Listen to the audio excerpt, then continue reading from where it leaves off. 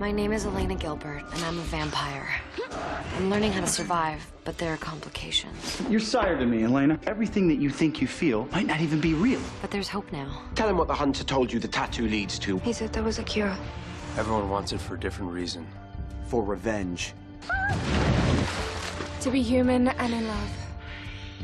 For the truth. I'm setting you free, Elena. And some will stop at nothing to get it.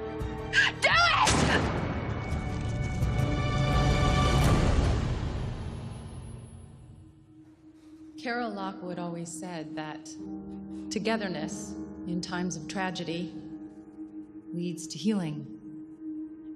That one community is stronger than a thousand of its members.